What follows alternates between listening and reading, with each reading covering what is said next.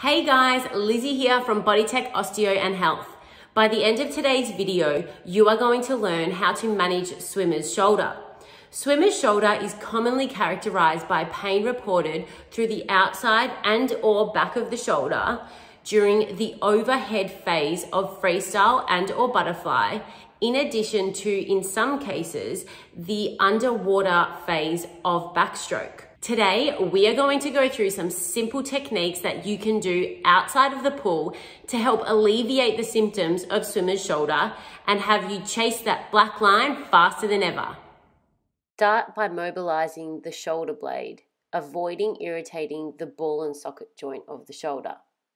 Bring the shoulders up to the ears, forward and back. Make sure to move through the full range, all the way up and down all the way forward and all the way back. Repeat 20 to 30 times. Start this movement on all fours with your hands underneath your shoulders and your knees underneath your hips. Ensure the elbow joints are not locked out, so that means we are going to be relying on muscle activation to perform this movement. Think of pressing the floor away from your chest so you're going to round your upper back as much as possible. Think of the bottom tip of the shoulder blades moving into the space of the armpits. This will help to activate both the lats and the serratus anterior. Very important for swimmers. Using a firm ball such as a lacrosse ball or a tennis ball, locate the rotator cuff by placing it just above the fold of the armpit at the back of the shoulder. Roll around up against the wall and find a tender spot. Once you've found it, stick to it. It should be pretty tender. Then roll around and find another one. Do it for a couple of minutes.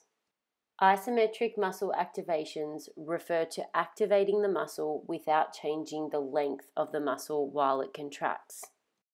To start with, External rotation refers to turning the arm in an outward direction.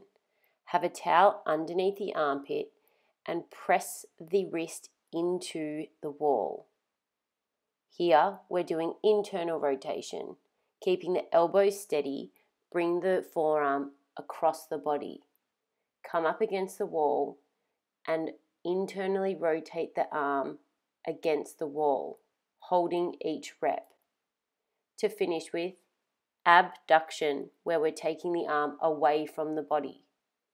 Take a towel underneath the armpit and again press the elbow into the wall. Perform each of these movements, maybe 8 to 10 reps. Hold each rep for 2 to 3 seconds.